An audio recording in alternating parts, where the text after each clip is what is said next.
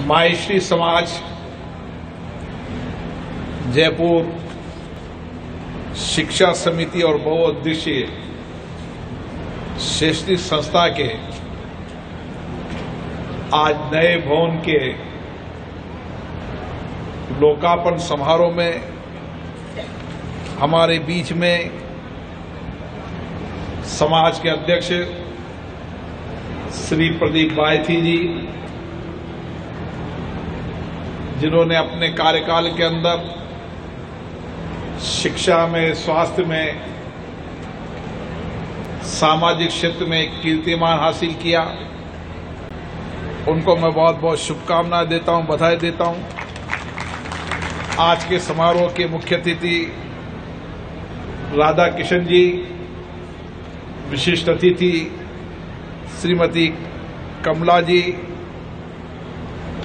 आज के अतिथि श्री अशोक जी, बागला, रमेश जी, सोमानी, नटवर जी, अजमेरा, नटवर जी, साड़ा, गोपाल जी, मालपानी, ओम प्रकाश जी, सत्यनारायण जी, काबरा, हरीश जी लकोटिया गोविंद जी, मालपानी,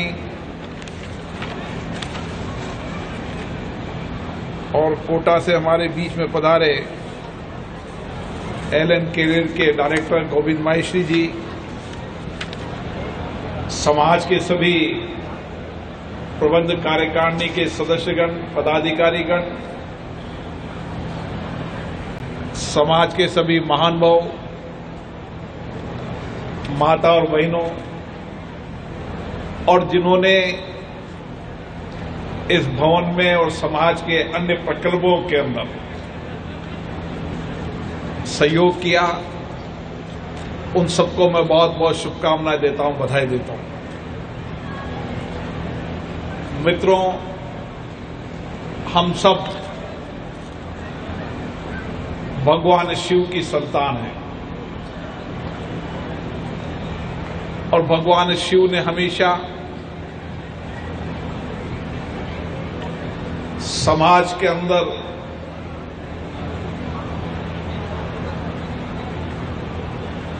दुख, पीड़ा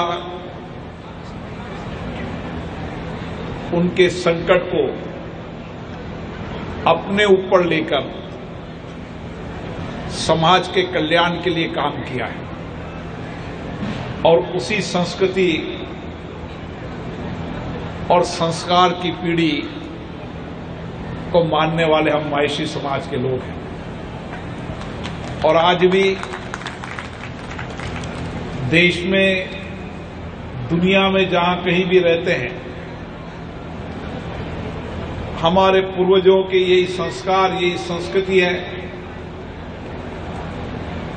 कि समाज के संकट, समाज की पीड़ा, समाज के अभाव समाज की चिंताएँ,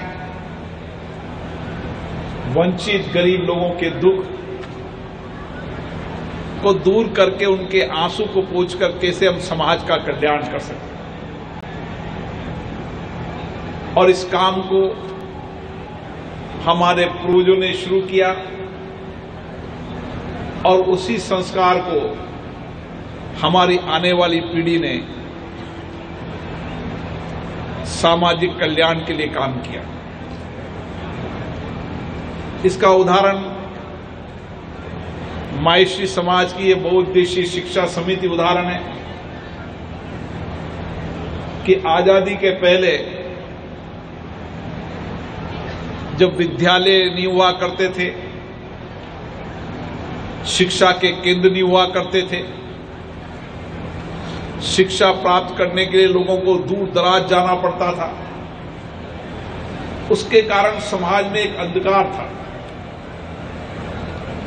और उस समय के लोगों ने विचार किया कि बिना शिक्षा के समाज में सामाजिक परिवर्तन नहीं ला सकते। शिक्षा व्यक्ति के व्यक्ति निर्माण के साथ, उसको आध्यात्मिक धर्म के साथ, उसको जीवन जीने की राह दिखाता है। और इसलिए सबसे पहले उन्होंने विचार किया कि अगर हमें समाज को परिवर्तन करना है, समाज में दिशा को नई दिशा लानी है तो शिक्षा के मंदिर हमें खोलना चाहिए। और उस समय उनकी सोच और विचार, एक छोटा सा नन्ना सा पौधा, उन्होंने स्कूल का लगाया। आज राजस्थान के अंदर पच्चीस हज़ार से ज़्यादा बच्चों को शिक्षा और संस्कार देकर इस मायसी समाज ने बहुत बड़ा पुनित का कार्य किया है। इसके लिए मैं सभी समाज के लोगों को बहुत बहुत शुभकामनाएँ देता हूँ, बधाई देता हूँ। साथियों, अगर महर्षि समाज के इतिहास को देखें तो इस इतिहास की एक लंबी कहानी है। जब राजाओं के राज हुआ करते थे, और राजाओं को धर्म युद्ध और सत्य का युद्ध लड़ने की आवश्यकता पड़ती थी उस समय राजाओं को धन की आवश्यकता होती थी तो भामाशाह के रूप में वैश्य समाज के लोग सहयोग करते थे। और ये भामाशाह की धरती है, जहाँ पर सत्य की लड़ाई, धर्म की लड़ाई लड़ने के लिए उस समय भामाशाह ने अपने सारे धन को, समाज को, देश को, उन राजाओं को दिया। और इसीलिए कहते हैं कि राजस्थान शौर्य की धरती है, वीरता की धरती है, त्याग की धरती है, तपस्या की धरती है, शक्ति और भक्ति की धरती है। और इसकी विरासत, एक समृद्ध विरासत रही है, जहाँ पर बलिदान और त्याग की सबसे बड़े धरती के रूप में राजस्थान को जाना जाता है। और इसलिए राजस्थान का समृद्ध इतिहास राजस्थान की समृद्ध गौरवशाली परंपराएँ हम सबको आज भी नहीं प्रेरणा देती है। और इसीलिए मायसी समाज ने पूरे देश में जहाँ विद्यालय की आवश्यकता थी, वहाँ विद्यालय खोले। जहाँ चिकित्सा केंद्र की आवश्यकता थी, सरकार अस्पताल नहीं खोल सकती थी, वहाँ अस्पताल खोले। जहाँ किलोमीटर दूर लोग चलकर आते थे, रात को वापस जा नहीं सकते थे। उन राहगीरों को वहीं रुकना पड़ता था, उनके लिए धर्मशालाएँ खोली, अन्न भंडार खोले, पीने के पानी के लिए प्यास के पानी बुझाए और सबसे बड़ी बात है कि राजाओं के राज के बाद जब आज़ादी की लड़ाई लड़नी होगी और अंग्रेज़ों का शासन उस समय आज़ादी की लड़ाई के अंदर भी समाज का बहुत बड़ा योगदान रहा। आज़ादी की लड़ाई भी लड़ी, आज़ादी की लड़ाई लड़ने वालों को संरक्षण दिया, धन दिया। और आज़ादी के बाद ये देश प्रगति की ओर आए खुशहाली की ओर आए देश समृद्ध हो। इसके लिए व्यापार उद्योग के माध्यम से जहाँ इस देश की प्रगति, समृद्धि, खुशहाली के लिए काम किया, वहीं देश के नौजवानों को रोज़गार देने का काम भी किया। इसलिए एक लंबी संस्कृति और लंबा संस्कार इस समाज का रहा है। आने वाली पीढ़ी में हमारी ज़िम्मेदारी हो जाती है कि जिन पूर्वजों के संस्कारों के कारण, जिन पूर्वजों के समाज की समर्पण, सेवा, त्याग के कारण जो स्थान समाज का बना है, जो प्रतिष्ठा समाज में बनी है, उस प्रतिष्ठा को हम कायम रखें। क्योंकि समाज की प्रतिष्ठा बनाने में उन पूर्वजों का त्याग, तपस्या और सेवा भाव थी, जिसके कारण संपूर्ण समाज मायसी समाज का सम्मान करता था। और आज की पीढ़ी को भी हमें इसी तरीके की और काम करना है। कि हम संपूर्ण समाज की किस तरीके से तप, तपस्या, सेवा के माध्यम से संपूर्ण समाज के सामाजिक जीवन में परिवर्तन ला सकें। और इसलिए समाज का धन मेरा धन नहीं, समाज का धन उन बच्ची गरीब, अभाव में रहने वालों के लिए है। ये हमारे संस्कार होने चाहिए। और मुझे प्रसन्नता है कि मायसी समाज इन्हीं संस्कारों के लिए काम कर रहा है। चाहे शिक्षा का क्षेत्र हो, चाहे चिकित्सा का क्षेत्र हो, आज एक नई प्रकल्प शुरू किया है कि शिक्षा के साथ साथ अगर समाज को आत्मनिर्भर बनाना है, नौजवानों को आत्मनिर्भर बनाना है तो हमें नौजवानों को स्किल्ड करना होगा, कौशल करना होगा।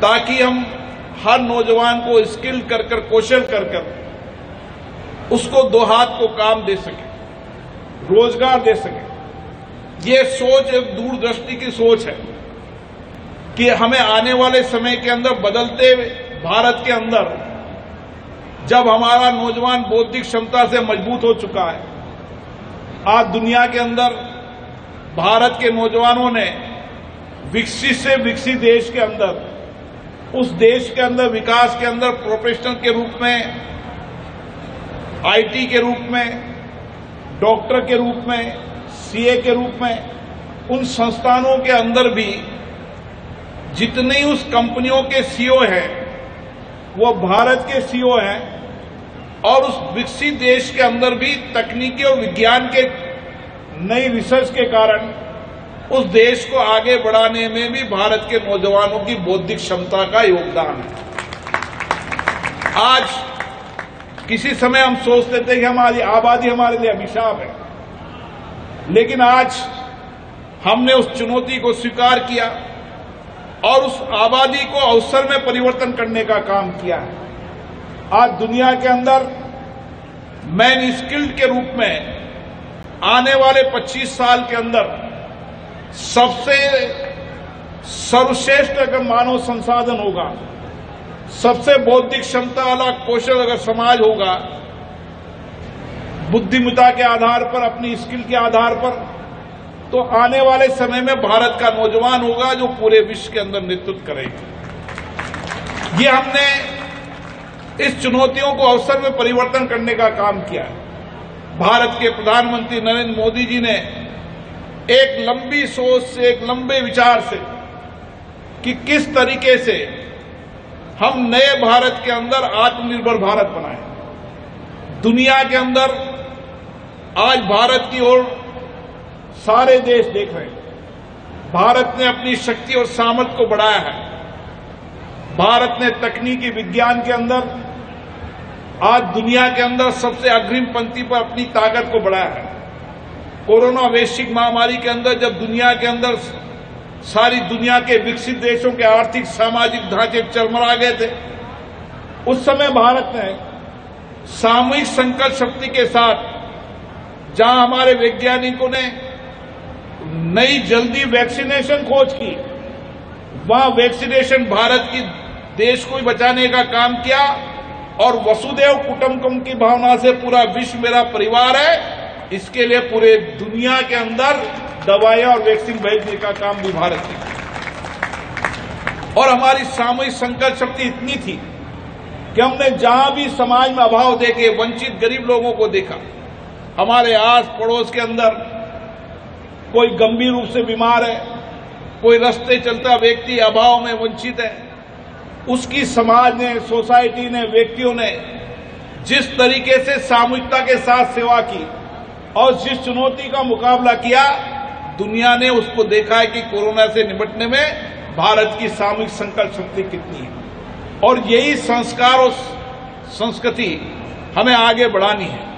और मायसी समाज की ये बड़ी ज़िम्मेदारी है कि हम जहाँ भी रहें, जिस स्थान में रहें जिस गाँव में रहे, जिस शहर में रहे, जिस इलाके में रहे, जिस क्षेत्र में रहे, जिस क्षेत्र में भी काम करें, उस काम में देश को प्रथम मानकर और समाज के अंतिम व्यक्ति के जीवन परिवर्तन करने का संकल्प हमारा होना है और इसी संकल्प के साथ जब हम काम करेंगे तो जब आज़ादी के सौ साल होंगे तो उस समय भारत सामाजिक आर्थिक परिवर्तन के युग का सबसे तेज़ी से बदलता हुआ भारत हो।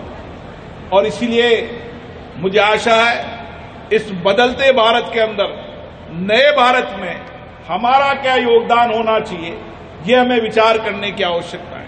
ये संकल्प लेने की आवश्यकता है। जिस तरीके से पूर्वजों ने अपने संस्कार, समर्पण, सेवा से इस समाज का स्थान बनाया, आने वाले समय में हमें भी इसी तरीके से काम करना है। ताकि दुनिया के अंदर ये एक संदेश जाए कि भारत के सामाजिक आर्थिक परिवर्तन में मायसी समाज का भी बहुत बड़ा योगदान। मैं हमेशा समाज के आगे बढ़ने की बात इसलिए करता हूँ कि जब हर व्यक्ति, हर समाज आगे बढ़ेगा तो देश आगे बढ़ेगा। समाज को जातिगत आधार पर नहीं है। समाज का मतलब है अपने अपने समाजों को, सभी समाजों को हम आगे बढ़ाने का काम करें।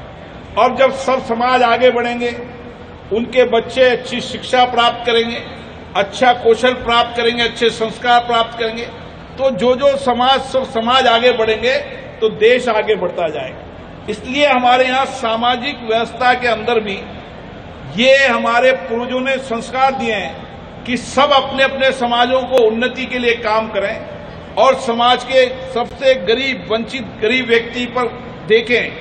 और उसको आगे बढ़ाने का समाज काम करे। जब सारे समाज अपने अपने समाजों में इस संस्कृति और संस्कार से काम करेंगे तो देश अपना आप आगे बढ़ेगा। और यही क्योंकि मायसी समाज सक्षम समाज है, इसलिए उसकी ज़िम्मेदारी और समाजों को भी आगे बढ़ाने की है।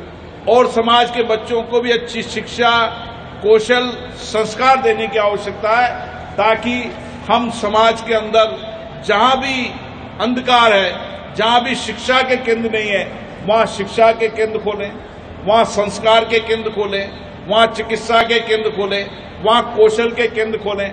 और किस तरीके से व्यापारिक औद्योगिक पर्यटन सर्विस सेंटर के केंद्र खोलें। जितने हम व्यापार, उद्योग, पर्यटन, अन्य सर्विस सेक्टर के कामों को आगे बढ़ाएँगे, उतने ही देश के अंदर लोगों को रोज़गार देने का काम करेंगे। इसलिए हमें समाज में ज़िम्मेदारी दी है कि हम इस पूरी शक्ति और सामर्थ्य के साथ काम कर कर इस देश के सभी समाजों के वंचित, गरीब व्यक्तियों के उत्थान के लिए काम करें।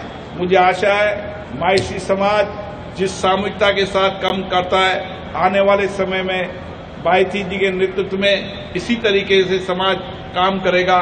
शिक्षा, कौशल, चिकित्सा और अन्य क्षेत्रों में सामाजिक काम करते हुए अपने कीर्तिमान हासिल करेगा।